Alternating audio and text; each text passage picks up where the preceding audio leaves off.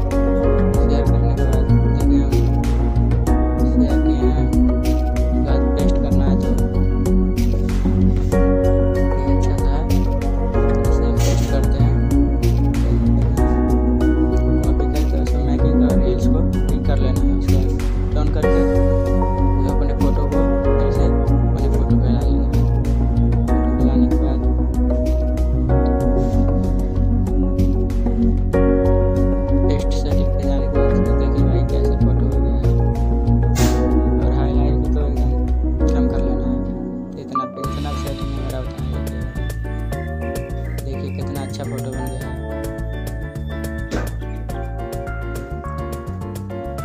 Photo बनाने के लिए चैनल को मेरे सब्सक्राइब करो।